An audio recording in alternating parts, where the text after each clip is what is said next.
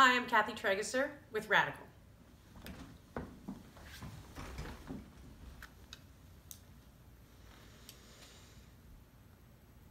Good afternoon.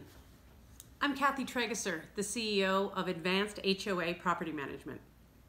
Not long ago, my husband and I took out all of our savings and invested in a small beginner company with five employees and 25 properties. Five years later, we have 150 managers and 250 happy communities. What makes us different? Our high expectation from our managers.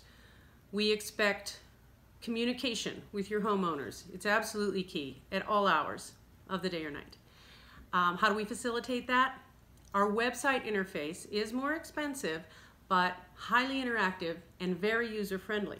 So homeowners, any homeowner, not just board members, have open communication with their community manager. Our vendors, well, our expectations of them are higher as well. We don't simply go for the lowest bidder.